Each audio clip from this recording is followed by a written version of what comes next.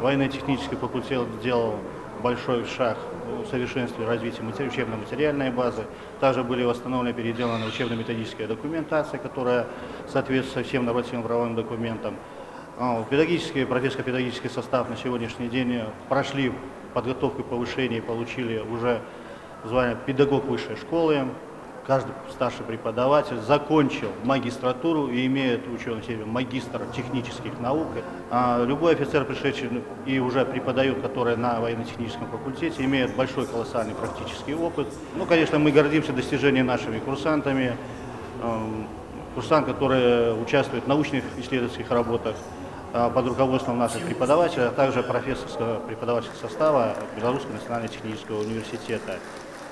Ну и нашими медалистами, которые ежегодно э, заканчивают БНТУ и военно-технический факультет.